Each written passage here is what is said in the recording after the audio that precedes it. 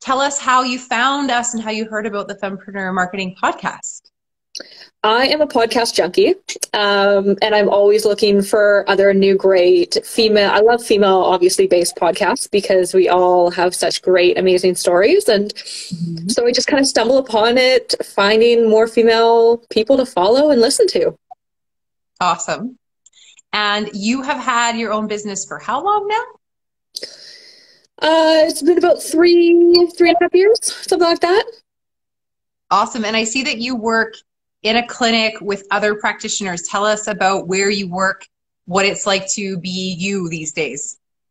For sure. So I um, run True North Movement, which we do massage therapy, acupuncture, aesthetics, uh, all that kind of fun stuff. So I have another massage therapist that works with me. I have an acupuncturist. We have an esthetician, and I have a woman who does Reiki and ionic foot baths, and then obviously myself. So yeah, it's it's a great spot. We're up in Muskoka, so it's not a bad place to live at all. Uh, we are on beautiful Lake Joe, so we have amazing scenery.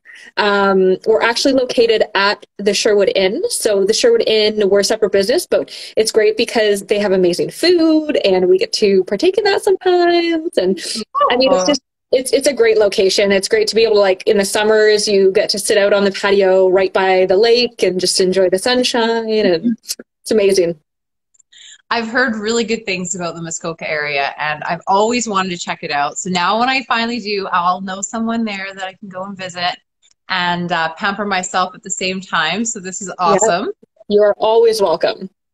So tell us about you before you were a fempreneur and then what led you to taking the big risky step of you know being your own boss so there was many years that led up to it. Um, I actually, before I was a massage therapist, I went to school for hotel and restaurant management, and I kind of, uh, funny enough, fell into the salon and spa uh, world. You know, doing managing and that kind of thing. And I, I did the, you know, service traditional spa, but then I also did more of the corporate retail side of it for for professional products, and I really enjoyed it. Um, but it was frustrating when I put in all this work and effort and I just had so much zeal and energy for what I was doing and you never really feel like people appreciate you as much as you're doing. Um, so, and, and then, I mean, I actually started managing my first spa when I was 19, 20 years old. So people you know like people didn't take me seriously at all. They just kind of treated me like a kid. And uh, it, it, was it was tough at first because you know i i i knew i knew what i was doing. And i mean whenever you're a manager you're also a leader in a perfect world. So i had already you know had leadership stuff in the past. I coached uh, some volleyball in high school, and you know, I tutored in college, and all that kind of stuff. So I already kind of had that um, zeal for people and leading people, and really leading people into the best parts of themselves. Because I find that people get in the way of themselves so much, right? Like. You know, and sometimes you just need that person to draw it out of you. So I would constantly tell people, like, if I see something in you, I'm going to push you and I, you know, sometimes you're going to feel like I'm being tough on you, but I don't invest energy into people I don't believe are worth it. Like if you're not worth it, I'm just going to leave you alone to do your thing and I'm not really going to engage because it's not worth my energy because there's nothing to pull out of you. Whereas what an honor people, that is for someone to hear that, like that someone's willing to invest their time, their limited time, and what yeah and i can see how that really lights a fire under people's butts when you say that to them so i love that leadership quality that you have that's fantastic yeah so i think i always knew eventually one day i might work for myself i just didn't know what that was ever going to look like and it wasn't until i was managing this spa for an owner who was like so hands off. He didn't know anything about the spa industry really. Like he knew very limited. I feel like he kind of bought it because he just thought like spas make a lot of money, um, and they they can, but you you kind of need to know how to invest that money and where to go, and like you, you do need some vision around it.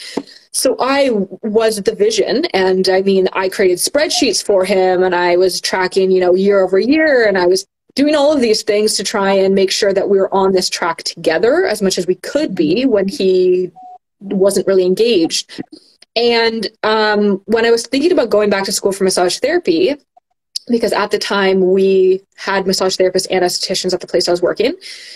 Um, I was thinking about going back part time and I was kind of talking to him about it.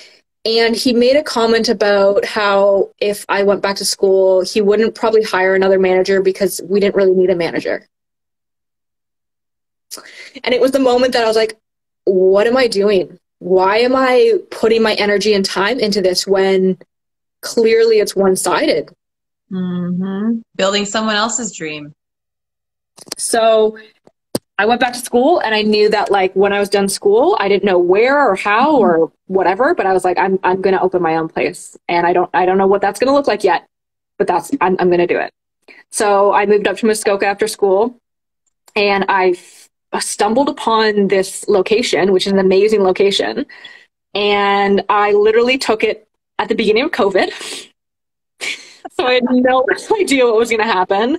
Um, and I kind of thought to myself, worst case scenario, it doesn't work out and I go back to working for somebody else, you know? But if I don't try, mm-hmm. I'm probably going to regret it. Yeah, worst case scenario is actually that you don't try and you regret it. yeah. So, I mean, that's really, I love that. I love the worst case scenario people because I, I know a lot of people that stay frozen in fear of what if they don't let themselves go to that what if and realize that it's really not that bad. Yeah, and that exactly. not trying is worse. So that's so and not everyone's born with that. And they have to be trained by someone probably like you or i to, to think like that. Um, and i love that you're out there running a business bringing fempreneurs into your business giving them leadership skills believing in them pushing them beyond what they think they can do. I think that's so inspiring. So thank you for for doing that yeah, you know what? I um I had some women I, I, saw a lot of powerful women in the spa industry and I was always like, hmm, they have something really cool. I wanted and I, every woman I met that was doing something in a challenging way, I was like, I want to be like you. You know, like how do I how do I do that? And I realized that it's it's just a mindset. You're just like, I'm just doing it. Like it, it, you give yourself another choice. You just, I'm doing this. Good for you. That's amazing. So you seem to be uh, possessing some very, very strong leadership skills, as we've already sort of outlined. But what I'm wondering is, where did that come from? Tell us about your childhood. Like, how did your parents or whoever raised you come to raise this this ass kicking fempreneur? Um, so I love my parents. They are lovely people. However, um, they essentially instilled in me one of the most dangerous things, which is not feeling like you're enough. Mm. So it can be beneficial, but, and it is what drove me to never feel like what I was doing was good enough in a way that made me want to overachieve and push myself further. So it, it is positive in that sense but as I've grown older, I've recognized how it limits me as well. And so, mm-hmm. uh, you know, like I, I, did well in school and I, I, didn't really, you know, it came to me somewhat easily. Um, so it was always one of those stories of like, if it's a B plus, why isn't it an A? And you know, that. Yes. And again, they, they meant the best for me, but I recognize now that it started to skew this opinion of my value was only based on how well I was doing and that can be really toxic and that can be really challenging. And I, I mean again like it has its positives. Sure you're going to be driven but at what cost? Mm. And i started to realize that my cost was going to be my sanity because i was n- always going to be pushing myself and i would burn out and as a massage therapist you can physically only do so much massage before you're going to hurt yourself before your mm. hands are going to wear out and I realized pretty early on when, because when I first opened, it was just me. I was mm-hmm. looking for staff, but like I didn't know when I was going to get staff. I didn't know when that was going to happen. So I was just like, I was going to do everything. And like it was the pandemic. So in theory, the fall winter is slow in Muskoka and it kind of quiets down, but it wasn't because everybody was staying up because the schools weren't open. Right. So I was so much busier. So I was just trying to do everything. And it was, you know, I realized like if I don't create better boundaries for myself, um, I'm going to burn out and I'm not going to be able to reach any type of success because I can't do anything. Yeah. So, yeah, I mean, again, like I, I, I played sports and I think sports are really great for kids because it teaches teamwork and it builds those leadership qualities. Um, so I think that was really, really beneficial. And again, it was it was that idea that I need to always be doing more, which can be positive. Yes. Um, but not always. Yeah. Do you have a team of fempreneurs or even just anyone around you that helps you kind of um, identify when you're hitting that ceiling where you need to maybe dial it down a little bit? Or is it like who, who are your mentors? Who are your inner circle of, of cheerleaders? Uh, so I have a few really amazing women. Um, funny enough, there's there's a few different in different areas. I have a good good friend who luckily is also a counselor. She works more in addictions, but um, she is also a workaholic. So we often have conversations about our workaholism. Um, and we kind of keep tabs on each other. And like it's again she's doing so amazing everything she's doing as well. And it's great to see that. But it's always a conversation of okay so what have you done for self-care today? Like how are you managing these things? Like when are you going to be taking a break? Because you can't keep going at the speed. Mm-hmm. so i have her in my corner. And then i found these this amazing group of women that um, actually anybody can join because we do mostly Zoom calls because of COVID, but we're starting to try and do some in person events.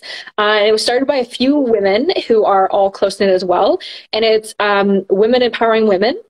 And it's a group, and we do different Zoom calls based off of different topics, and we just try and support each other in different ways. And you know, it's a great group where it's a safe space to be able to say, like, I'm struggling with this, or this is what I want to achieve, and like to have those great, strong women cheerleaders in your corner.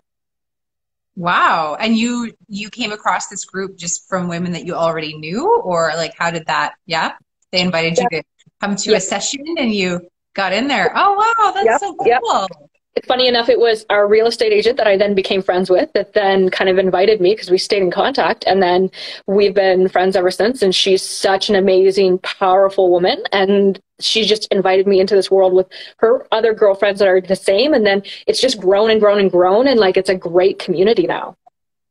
So, do you have fempreneurs or maybe budding fempreneurs um, come to you for advice on how to open a salon or a spa or a wellness center? Do you have them ever come to you and say, like, how did you actually start this business? Like, you know, what are you using to accept payments? How are people scheduling their appointments? Like, do you ever have women come to you, or I guess maybe not just women?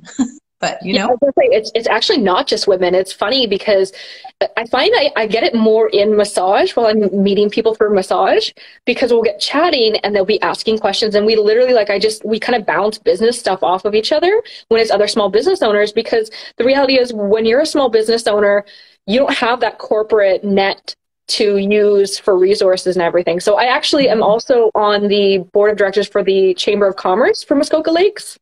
Nice. And uh, that's one of the ways I got connected into the community as well and got connected with what's going on in business. And it was a way for me to give back and be able to help other businesses as well. So, you know, we really do a lot of networking. And when it's one of those things where you're like, I need a website built, who do you know? We have a list of people. And if it's something like, I need, you know, snow plowing like there there it could be anything that you need and we'll help connect you with the right people so it's it's a great great way to build and meet community that way as well Wow, that's fantastic. So let's talk marketing for a few minutes here. I'd love for you to share with fempreneurs some of your best marketing wins, uh, either a strategy that you discovered by accident that you continued to utilize or something that you recently discovered is working for you maybe you know might not work forever like anything marketing wise that you can share that's working for you so i'm going to be a little bit boring here um, I actually am a little bit old school and I have built my business honestly through referrals. Creating yeah. an amazing customer experience is one of the easy, well, I shouldn't say easiest, but the least expensive ways to get yourself out there. And, you know, I'm in a small community, but it doesn't have to be a small community. Like your reputation, your name goes leaps and bounds. And so if you can connect with people and let them know that like I'm trying to build my business and if you're mm-hmm. okay being a little bit vulnerable in that and just say like I'm I'm looking to build my business and if you enjoy what I do like please let other people know you'd be mm-hmm. amazed at how many people are in your corner being like, yeah, so and so, you guys see so and so, and like then my cousin and my friend, and you know, and like all of a sudden I have people, and I always ask, of course, you know, like, oh, how'd you find us? And they're like, oh, I know so and so, and I'm like, oh, yes, how's she doing? Because I haven't seen her in a while. Oh. So it's it's one of those things that's so underrated. I think there's so many things you can pay for for advertising, and there's so many things that you can do for marketing that spent takes a lot of your time and a lot of your energy. And i think it's great to be creative. And we all have that piece of creative in us that we should utilize. But mm. don't discount referrals and don't discount you know your existing clients because they are the ones who know your services. They know you. And if they like what you do they will share you i love that. That's and anyone can do that right? It doesn't require any technology skills. It doesn't require you to know how to make a reel or you know it's so it's so um, like you said it's old school but it's simple and that's the beauty of it. It's like and that's how i started yyc fempreneurs. I started teaching a marketing school and it wasn't perfect but i i just asked them i was like hey do you know any other fempreneurs who are struggling with marketing that could use not only some tips and tricks but a team of women around them and they were telling all their friends and they were sharing, you know, different things on their social media and tagging me so that people could find, you know, this this marketing school that was so amazing that it was honestly like pretty clunky at times because I was figuring it out as I went. But um, I do love the power of of um, being a new business. I remember when I my previous business, well, I still have it now, but before it was my only business, it was in the financial services industry. And I knocked on doors in mm-hmm. town, mm-hmm. and that was the company's system. And as uncomfortable as it was at times, I built so many st- strong friendships because those clients mm-hmm. always become your friends. And mm-hmm. Um, just from knocking on doors, and, and I was I was legitimately new to Cochrane back then, Cochrane, Alberta, where I live. And so when I was knocking on doors, I was like, I'm new to town and I'm starting a business here. And we kind of had this script that the company provided, and they wanted us to ask. Um, the question was, if you could change one thing about Cochrane, what would it be? And people freaking loved talking about that, right? They're oh, like, wow, yeah. Listen. Yeah. and I was actually new to town. So uh, some of the things they were talking about, I didn't even know or I never thought of before. I discovered businesses and different things through those conversations.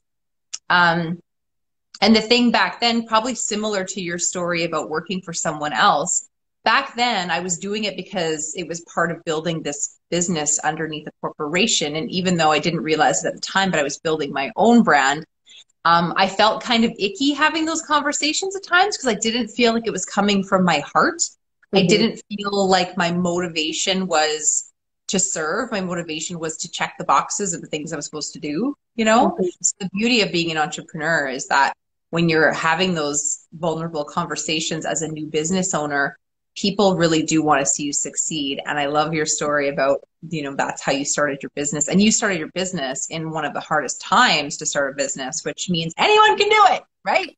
Honestly, I, I feel like it's it's one of these businesses also that I've only been there a few years, but I, I can't have enough staff. Like I just have so many requests and we do, so we do mobile treatments as well, which is always fun because, you know, you get to travel all over different lakes and sometimes you get to, they'll pick you up in a boat and you travel to their island and like, so it can be, it can be a really cool experience. Um, but it's just, you know, as your name gets out there more, more and more people are contacting you and like, in the summers, I, I'm just insane. Like I, I'm at the point now where I, I can't take more people personally. Like I'm just like, see this person, see this person, they're amazing. Like, you know, and then they're getting busy. And then it's like, oh, we're just booked for three weeks, four weeks, five weeks. Like it's crazy. So it, it can happen. You just have to stay on it because that's the other thing is a lot of entrepreneurs, they start something and when it's not a wild raging success immediately, they feel like they're doing something wrong. And it's like, no, there, there just is a growth period